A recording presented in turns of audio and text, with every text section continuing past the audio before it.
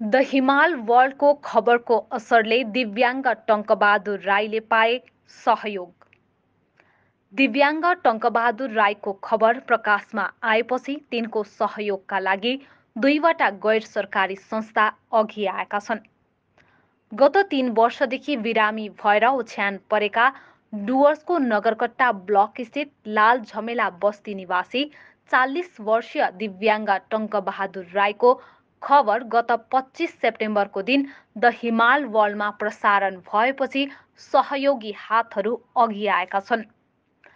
दिव्याङ्ग राई गत तीन वर्षदेखि आफ्नो जीवन र मृत्युसँग लडिरहेका छन्। ओछ्यानमा सुत्दा सुत्दै कम्बरमुनि तिनको घाउ भइसकेको छ। उपचारका लागि सरकारी अस्पतालमा लाँदा औषधि दिएर घरमै उपचार गर्नु भनेर फर्काइदिने गरेको उनकी पत्नी चन्द्र राईले गुनासो पोख्छिन्। राईको परिवारको आर्थिक अवस्था एकदमै कमजोर रहेकोले निजी अस्पतालमा उपचार गर्ने परिवारको हैसियत छैन। गरिबी र रोगसँग लड्दा लड्दै हरेस खाएर टङ्कबहादुर राईले एक दिन आत्महत्यासम्म गर्ने निर्णय लिएको पत्नी चन्द्र राईले जनाइन्। राईको खबर प्रसारण भएपछि डुवर्सको गठिया चियाबारी स्थित इजिनेबर नामक एक गैर सरकारी संस्था र लुक्सान क्षेत्रका महिलाहरूद्वारा गठित ओजस्वी संस्थाले आर्थिक रूपले राईलाई सहयोग गरेको छ। यसै क्रममा राईको उपचारको निम्ति तिनलाई बिहारको पटना लगिँदै गरेको पनि जनाइएको छ। पत्नी चन्द्र राईले यसरी सहयोग प्राप्त गरेकोले आफूहरूलाई जीवन जिउने हौसला प्राप्त भएको मन्तव्य पोखिन्। यसको साथै तिनले अरूलाई पनि सहयोगको निम्ति अघि आइदिने अपिल गरेकी छन्। गाडीमा पेसेन्ट हुनुहुन्छ नि? को हुनुहुन्छ? गाडीमा भएको पेसेन्ट मेरो उयो हस्बेन्ड हो। के नाम हो उहाँको? उहाँको टङ्का राई हो। उहाँको घर? लाल बस्ती। उहाँलाई के भएको छ? अँ, उसलाई चाहिँ यस्तो ब्याक साइडमा चाहिँ घाउहरू छ। उसको चाहिँ निकै कन्डिसन चाहिँ एकदम खराबै छ। कति दिनदेखि बिरामी हुनुहुन्छ? त्यो चाहिँ त्यो बिमार चाहिँ त्यो उसको घाउहरू चाहिँ भएको तिन वर्ष भयो। यत्रो दिन ट्रिटमेन्ट कहाँ गराउनु ट्रिटमेन्ट एकपल्ट यस्तै हामीले कनेक्सन गरिदिएको थियो अन्त गाउँकोहरूले अनि सिलगढी गएको थियौँ हामी। सिलगढी जाँदाखेरि चाहिँ अनि सरकारीमा गयौँ। सरकारीमा अन्त बस्दाखेरि चाहिँ अन्त पैसाले पुगेन अन्त हामी त्यहाँबाट फर्क्यौँ अन्त एउटा प्राइभेटमा सोधेको थियौँ। प्राइभेट हस्पिटलमा चाहिँ अन्त यस्तो यस्तो घाउ छ भनेर हामीले देखायौँ पनि। अनि मलाई भने अनि त्यहाँबाट मैले सोधेको। मैले सोद्धाखेरि चाहिँ अनि त्यहाँबाट एक लाख रुपियाँ एक लाख चाहिँ एडभान्स चाहिँ हामीलाई दिनुपर्छ अनि बिमारी हाम्रो साथमा हुन्छ। अनि त्यहाँबाट जाति भएर हामी दिन्छौँ बाँकी हिसाब अनि फेरि लास्टमा हुन्छ भनेर भन्नुभयो प्राइभेटमा चाहिँ। अहिले आज कहाँ लानु हुँदैछ उहाँ आज चाहिँ यो बिहार भन्ने जग्गामा। कसले सहयोग गरेछ तपाईँहरूले सहयोग चाहिँ लुक्सानको अब लुक्सानको सबै दिदी बहिनीहरू उहाँहरूले मलाई धेरै धेरै सहयोग गर्नुभयो। तपाईँ पनि जानु हजुर म पनि जान्छु। अनि बस्तीबाट पनि यो उयो अमित भाइ हो अमित भाइ उहाँ नै हुनुहुन्छ। अन्त उहाँले पनि हामी मलाई धेरै धेरै पनि मद्दत गर्नुभएको छ। सहयोग तपाईँहरूको चारैपट्टिबाट सबैबाट मैले सहयोग पाएँ होइन? यसको लागि धेरै धेरै धन्यवाद छ मलाई। यो यही चाहन्छु म। तपाईँको के गर्नुहुन्छ तपाईँ? म बगान काम गर्छु। परम पार्मेन्ट कि पार्मेन होइन बाहिर यस्तो बिगा। बिगा गर्नु हजुर। उहाँले चाहिँ पहिला के गर्नुहुन्छ? उहाँले चाहिँ पहिला चाहिँ यस्तै होटेलतिर बसेर यस्तो मोमोहरू बनाउने काम गर्थ्यो। बाहिर है? बाहिर होइन त्यो सिक्किम साइडतिर। हजुर।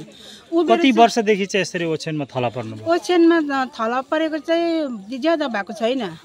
त्यस्तै तिन चार महिनाहरू जस्तो भयो होला। तपाईँको छोराछोरी नानीहरू छन् मेरो? छोराछोरीहरू छैन तपाईँहरू दुईजना? हजुर। हामीले सुन्यौँ उहाँले एकदम बिमारीदेखि तङ आएर सुसाइड गर्नु पनि हजुर त्यो। पनि हो। हामीलाई यस्तो भयो हाम्रो किनकि अब घर पनि छैन। अन्त घर पनि नहुँदाखेरि अनि त्यहाँबाट म चाहिँ काम गर्नु जाँदै थिएँ बगानमा। त्यो बिगा कमाएर भए पनि मैले मेरो हस्बेन्डलाई पाल्नु गर्थेँ मैले पाल्थेँ सक्थेँ। म त राम्रै छु अनि त्यहाँबाट लास्टमा फेरि ऊ अचम्मै थला पऱ्यो थला परेर चाहिँ मैले कामहरू पनि गर्नु पाइनँ। अनि यसरी नै बुढाबुढीको हाम्रो सल्लाह भएको थियो। यो सही कुरा हो। अन्त त्यहाँबाट हाम्रो बारी पनि छैन जमिन पनि छैन अनि त्यहाँबाट हाम्रो केही छैन। बरुभन्दा दुईजनै हामी बुढाबुढी मरौँ भनेर हाम्रो सल्लाह चाहिँ भएको थियो। अनि म दबाई पनि खोज्नु गएको थिएँ होइन? अनि त्यो घरमा सकेको रहेछ। यो दबाई पनि एउटा थाइडेन भन्ने दबाई हुँदो रहेछ नि एक क्लास भन्ने। अनि त्यो घरमा पाउँथ्यो मलाई याद थियो। अनि त्यहाँबाट त्यो घरमा अहिले सकेको छ भनेर भन्नुभयो होइन? अनि त्यहाँबाट उनीहरू हाँसे पनि के को लागि भनेर। अन्त मैले यो घाउमा मेरो बुढाको चाहिँ घाउमा लगाइदिउँ भनेर पनि सोचेको थिएँ। अनि धेरै अब दियो भने चाहिँ खानु पऱ्यो भनेर सोचेको थिएँ तर दिनु भएन उहाँहरूले पनि। अन्त त्यो मान्छे पनि हाम्रो गाउँ छेउको हो हो। यस्तै दुःख लागेर चाहिँ हामीहरू चाहिँ मर्ने चाहिँ हामी प्लान भएको थियो। अनि सबै चारैतिरबाट अब मद्दत भयो हामीलाई सहयोग भयो। यस कारणले तपाईँहरूको एउटा मद्दतले गर्दा हिम्मत। आयो कि आएन हजुर यसमा मलाई धेरै खुसी छु म एकदमै होइन सबैजनाले मलाई मद्दत गर्नुभयो। मलाई सबजनाले सहयोग गर्नुभएकोमा यसमा म खुसी छु। उहाँहरूको एउटा मद्दतले गर्दाखेरि बिमारी जाति होस् भन्ने एउटा मलाई खुसी दिनुभयो। उल्लेखनीय छ टङ्कबहादुर राई जन्मदेखि नै दिव्याङ्ग हुन्। उनको एउटा खुट्टा खराब थियो। तर पनि उनी हिँडडुल भने राम्ररी नै गर्न सक्थे। दिव्याङ्ग भए पनि उनले पहिला केरेला बेङ्गलोरमा कुकको काम गरेर आफ्नो जीविकोपार्जन गर्ने गर्थे।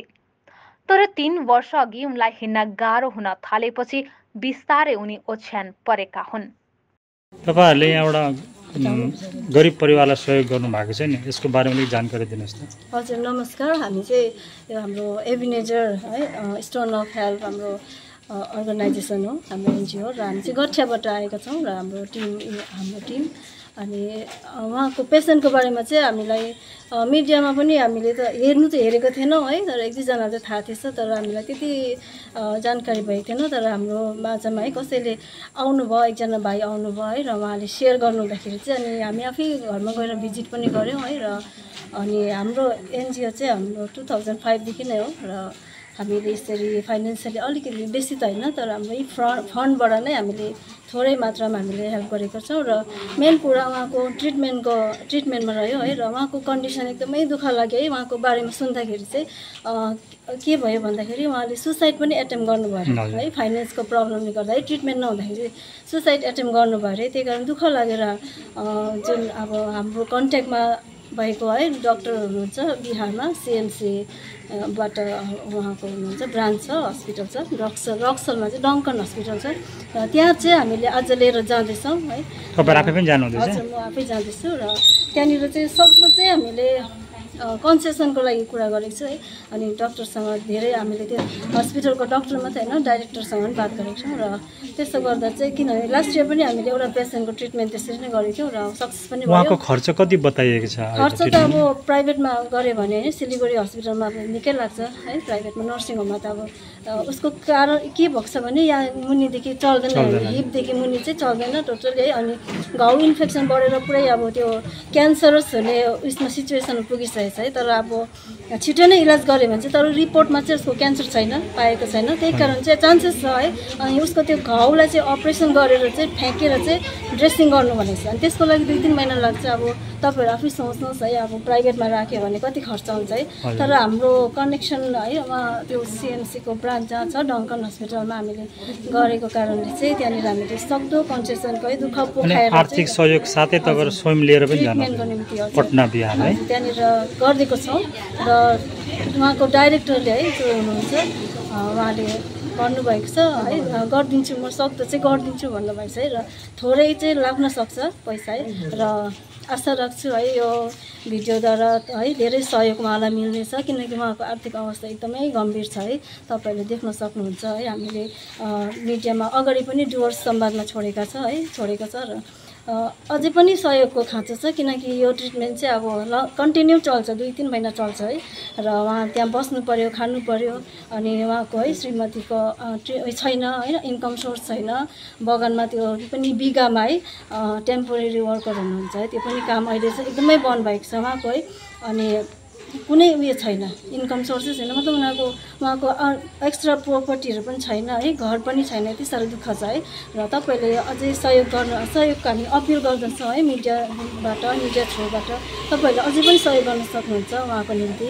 हुन्छ हामी के नाम हो बाटो चाहिँ- तपाईँको? मेरो नाम चाहिँ नम्रता गुरुङ। थ्याङ्क यू आज यहाँ एकजना पेसेन्टलाई हेल्प गर्नु भएको छ नि के को निम्ति? सर्वप्रथम नमस्कार हामी ओजेसी टिम हो। लुक्सानबाट एउटा एनजिओको तर्फबाट हामीले एउटा लाल बस्तीमा एउटा बिमारी हुनुहुन्थ्यो। उहाँलाई चाहिँ हामीको टिम मिलेर उहाँको आर्थिक अवस्था ठिक नहुनाले गर्दाखेरि हामीले उहाँलाई सहयोग गऱ्यौँ। फर्स्टपल्ट पनि हामीले छ हजार अनि अलिअलि यसो खानेकुरा सामग्री दिएर उहाँलाई हेल्प गरेको थियौँ र यो सेकेन्डपल्ट पनि फेरि पनि हामीले उहाँलाई हाम्रो जताशक्ति हामीले फेरि सात हजार दिएर उहाँलाई हेल्प गर्दै उहाँको ट्रिटमेन्ट कहाँ हुँदै कहाँ लाँदैछन् उहाँलाई पेसेन्ट जो छ? भेलोर लाँदैछ उहाँलाई। कति उहाँको उपचारको लागि तपाईँहरू सहयोग गर्यो कति खर्च बताइएको छ उहाँको जुन उपचार हुन्छ?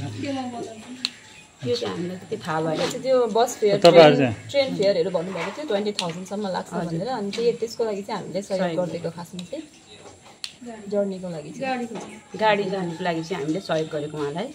तपाईँहरूले यो जुन पेसेन्टको बारेमा कसरी थाहा पाउनु भएको थियो हामीले यो मिडियाबाट। थाहा पाएको। तपाईँहरूको एनजिओको यो जुन सामाजिक संस्था छ के नाम हो? ओजेसी ओजेसी नारी सङ्गठन। यो के को निम्ति तपाईँहरूले गठन गर्नुभएको छ? हामीले अब सबैलाई हेल्प यस्तै अब कसैलाई दुख बिमार भयो या फिर नारी शोषणहरू भयो यो सबको लागि चाहिँ हामीले एउटा तयारी गरेको लेडिज टिम मिलेर। कहाँ कहाँको लेडी महिलाहरू हुनुहुन्छ यसमा? हामी विशेष गरी अहिले त लुक्सान क्षेत्रको मात्रै छौँ हामी। टोटल लुक्सान हो अहिले। आगामी दिनमा के के कस्तो माने फेरि सामाजिक सेवाहरू गर्ने तपाईँहरूले एउटा कर्मसूची बनाउनु भएको छ? अब हाम्रो हामीलाई जुन जुन प्रकारको अब सहयोग माग्नेहरू आउनुहुन्छ हाम्रो हामीले सक्दो हामी सहयोग गर्नेछौँ। जुनै प्रकारको आए पनि हामीले चाहिँ नारी शोषणदेखिको लिएर नारी शिक्षादेखिको लिएर के अरे नारी उत्पीडितदेखिको लिएर यो सबै नै हामी उहाँहरूलाई हेल्प गर्नेछौँ। यो जुन अहिले रकम दिनुहुँदैछ नि आर्थिक सहयोग तपाईँहरूले आफ्नो सदस्यहरूसँग उठाउनु भएको कि यसरी गाउँ बस्तीमा पनि कलेक्सन गर्नुभयो? हामीले गाउँ बस्ती लिएर हाम्रो सदस्यहरूदेखि पनि हामीले उठाएर नै हामीले हेल्प गरेको Hi, I'm Grace Khati and I'm from Siliguri. I came to know about medical scribe through one of my teacher and after lots of research and learning about medical scribe, I decided to become one because I saw a brighter future, job guaranteed, growth, good salary and an opportunity to work with doctors in US and I'm very excited to start a new journey of my life. Thank you.